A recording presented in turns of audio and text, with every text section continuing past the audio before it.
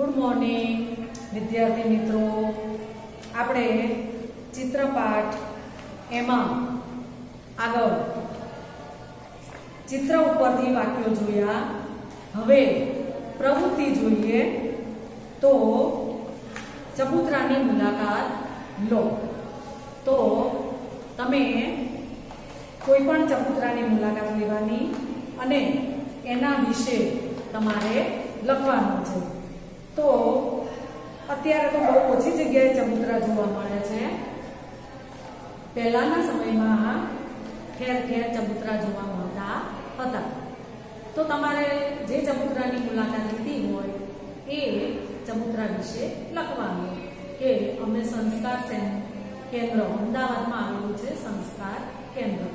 ત્યાંથી અમે એ એ ચબૂતરાની મુલાકાત અમે લીધી હતી. અમારા વર્ગના બધા ભાઈ બહેનો અથવા તો વિદ્યાર્થી, વિદ્યાર્થીનીઓ, અમે ત્યાં એ ગયા હતા. હવે અમને અમારા વર્ગ શિક્ષકે ચબુતરા વિશે સરસ માહિતી આપી. ચબુતરો ગામડામાં પ્રવેશતા અથવા તો ગામની વચ્ચે હોય છે. ચબુતરો પક્ષીઓ માટે આશ્રય સ્થાન છે. આશ્રય સ્થાન એટલે એમને રહેવાનું સ્થળ છે. ચબૂતરા પંખીઓને ચણ નાખવા માટે, એટલે કે પંખીઓ માટે નાણાં નાખવા માટે બાંધવામાં આવે છે. ચબૂતરો ઊંચો હોય છે. શા માટે ઊંચો? કે બીજા જે પશુ હોય છે, એનાથી રક્ષણ મળે. એટલા માટે ચબૂતરો ઊંચો બાંધવામાં આવે છે. છેક ઉપરનો ભાગ એનો અષ્ટકોણીય અથવા તો ષષ્ટકોણીય. આઠ ખૂણાવાળો અથવા તો છ ખૂણાવાળો હોય છે. જ્યાં દાણા નાખવામાં આવે છે, તે જગ્યા ઉપરથી ઢાંકેલી હોય છે. આજુબાજુ કેટલાક બાકોરા બાકોરા એટલે જગ્યાઓ રાખવામાં આવે છે. એ બાકોરામાં પંખીઓ પોતાના માળા બાંધી શકે છે અને એમાં ઈંડા મૂકી શકે આ એક પ્રકારે શું છે? પંખી ઘર છે. પંખીઓ માટેનું ઘર છે. ચબુતરાની નીચે ભોંય તળીએ ભોંય તળીએ એટલે ભોંય એટલે જમીન. જમીન ઉપર એક બેઠક હોય છે, ત્યાં લોકો નીચે એટલે કે એના ઉપર બેસી શકે છે અને બાળકો રમી શકે છે. એટલે કે ઓટલા જેવું બનાવવામાં આવે છે. ગુજરાત અને રાજસ્થાનમાં જુદા પ્રકારના ચબૂતરા જોવા મળે છે. એ ચબૂતરામાં પંખીઓ માત્ર આરામ કરી શકે છે ને ચણચણી શકે છે. આ ચબૂતરાઓને માથે છત્રી હોય છે અને હિન્દુ ધર્મમાં આસ્થા રાખનારી બહેનો વહેલી સવારે ચબૂતરે કબૂતરોને દાણા નાખવા જતી જોવા મળે છે. અમદાવાદમાં જે સંસ્કાર કેન્દ્રમાં ચબૂતરો આવેલો છે, એ લગભગ આશરે એકસો ને વીસ વર્ષ જૂનો છે. આ પહેલા એ ચબૂતરો અમદાવાદમાં ક્ષેત્રપાળની કુળમાં હતો. ત્યાંથી એને ખસેડી અને સંસ્કાર કેન્દ્રમાં મૂકવામાં આવ્યો છે. હવે એના પછી છે પ્રવૃત્તિ બે.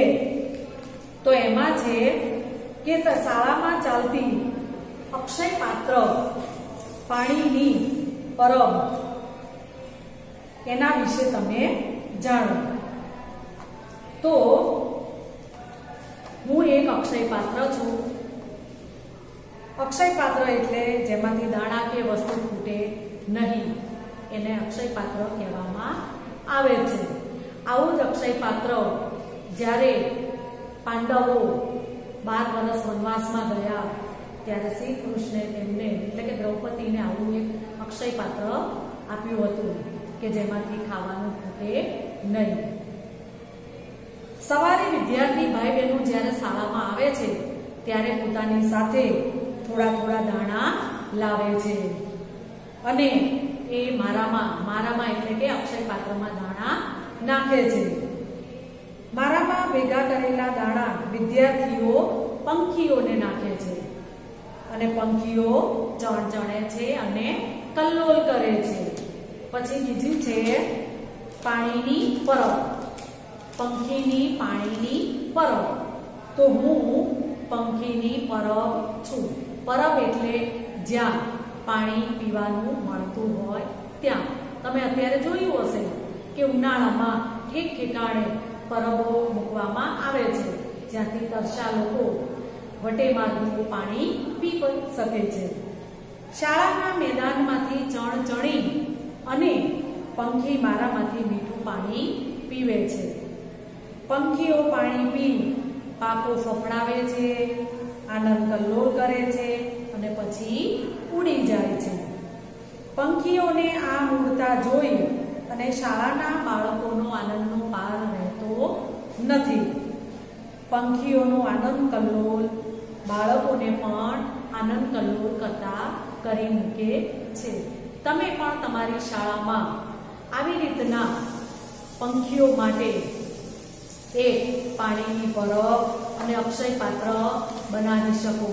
જેનાથી પંખીઓને દાણા મળી શકે અને પાણી પણ મળી શકે. તો જ્યારે સ્કૂલ ચાલુ થાય, ત્યારે આના વિશે જરૂર તમે વિચારજો.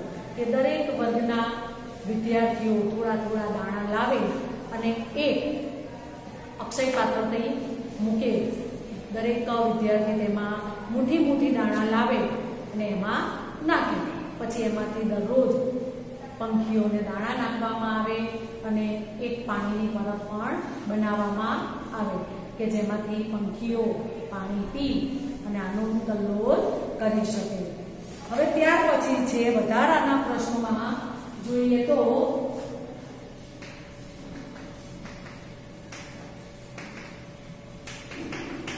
આ એક સ્વાધ્યાય પૂર્તિના પ્રશ્નો છે. તમારે સ્વાધ્યાય પૂર્તિ લાવવાની નથી, પણ હું જે કહું એ તમારે ગુજરાતીની નોટમાં જ લખવાનું છે. આ એક ચિત્ર આપેલું છે. એ ચિત્ર ઉપરથી આપણે વાક્યો લખવાના છે. તો પહેલું ચિત્ર છે કે જેમાં એક નદી વહે છે અને એમાં એક હોળી તરે છે. સૂર્ય અડધો વાદળ પાછળ છે અને અડધો બહાર દેખાય છે. નદી કિનારે એક ગાય ઊભી છે. એક છોકરો આ કુદરતી દ્રશ્ય જુએ છે. દ્રશ્ય એટલે કુદરતી વાતાવરણ જુએ છે. હવે બીજું ચિત્ર જુઓ તો મોચી પોતાની જગ્યાએ બેઠો છે. ને કામ કરી રહ્યો છે અને તેની આજુબાજુ તેના ઉજાર પડ્યા છે. મોચીના ઉજાર શું હોય? હથોડી હોય, એરણ હોય, બૂટ પોલિશ કરવા માટેનું એક બ્રશ હોય, એક ડબ્બી હોય, જેમાં પોલિશ માટે એ કાળા કલરનું હોય છે.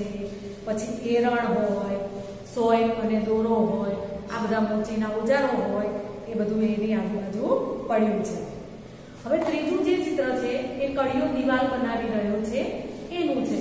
તો તમે વિચાર કરો કે કડિયાના સાધનો શું હોય? તો કડિયાનું લેલો ઓળંબો અને